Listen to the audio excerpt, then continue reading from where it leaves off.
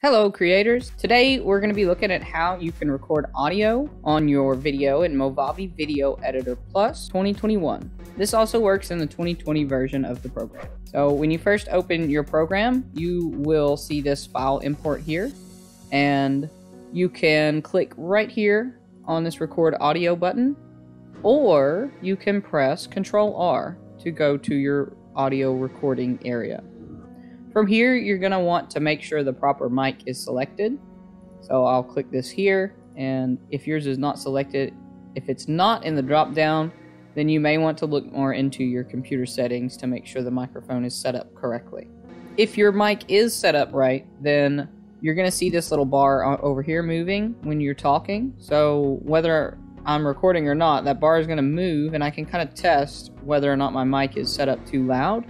So if my mic is too loud, then it's going to go up to the red there. And that's not good. You don't want it to be too loud. It will, it just won't sound good. Some of my older videos sound like that. Hopefully this one won't.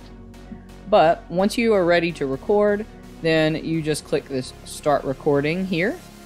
And then it will record whatever you're saying or whatever audio you're wanting to record right down here.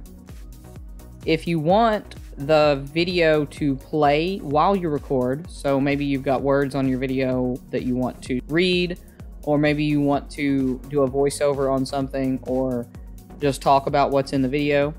Then you can click this checkbox here, and then when I start recording, it will record and play at the same time. Some helpful tips while you're doing that is this little mute button here on the side. So Maybe I don't want my audio to be playing in the background. Maybe you've got some other music or some game audio on your video. So you can mute that temporarily to do this while you record and then it won't play back. And then let's see, I've got this second recording here. So I wouldn't want that to be playing. So then I can turn these off. Then if I want to make the video play while I record, I've got that checked. Click start recording, it gives you a little countdown and then you can start recording over your video. This makes it a lot easier because you don't have to import your audio.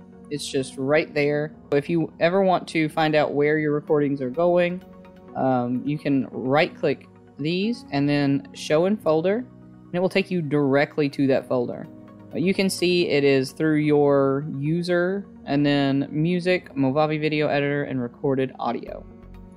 That's where you will find those recordings in your files. You can also import audio. So if you don't have a mic that hooks up to your computer, then what I used to do is record audio on a free app on my phone, and then I would import the audio to the computer and then onto my videos. Thanks for watching. Be sure to like and subscribe for more Movavi video editor tips, and we'll see you in the next video.